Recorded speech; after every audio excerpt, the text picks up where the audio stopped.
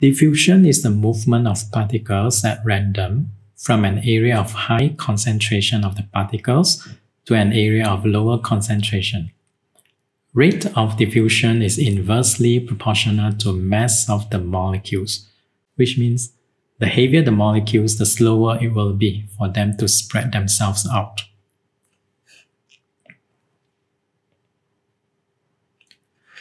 Brownian motion describes the random motion of the smoke particles which illustrates that molecules are in a constant state of motion and moving in random direction.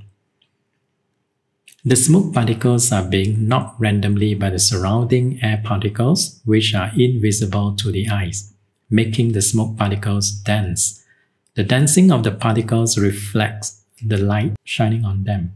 Thus, the bright specks of carbon black particles are seen dancing about in a jerky, erratic, and random manner as they are being bombarded haphazardly and irregularly by the air particles. The smoke particles rarely collide with each other, indicating further that the particles are being bombarded by air particles.